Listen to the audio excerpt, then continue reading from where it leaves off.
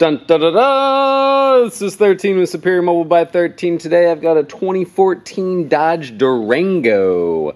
This one's pretty fun. I've never done one of these, not too common. Uh, but what we did, took her all apart, did a full interior gloss black paint job.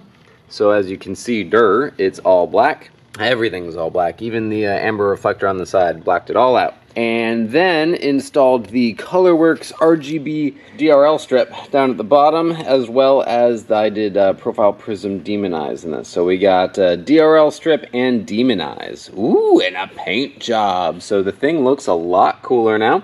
This is all on blue mode. I am using the Morimoto XBT controller, so that's got three channels of control. So I actually have it wired up right now so that like this bottom left, uh, which is what the passenger side. That one is on channel one, so we can control that. We'll like set it on like a like a weird color there. Uh, I like that weird color better.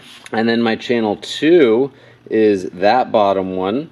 And then channel three are the demon eyes, which we can put anywhere we want. Let's put them on like, ooh, like a red. Right, so we can do something cool, crazy color combinations like that. Also worth mentioning is that these DRL strips are switchback products. So if you uh, wire them up correctly, then they will be your turn signals, uh, or hazard in this case. And then when that goes away, then voila, it comes right back on. So that's pretty cool. Put it all back on white mode. Boop. Yeah, look at that. And then off. So that's pretty much this build. Fun, simple, quick, easy, no actual lighting upgrades uh, as far as the actual headlight output. It's a decent enough projector in this. It's a D3S assembly. So it could be upgraded if someone were so desiring. Uh, you could also do like lens etching or stuff like that to it.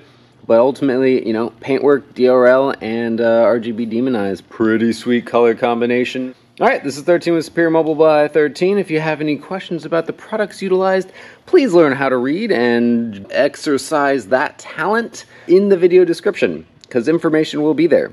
Also, down in that description will be an email address so that you can email me if you are so interested in having a build done for yourself.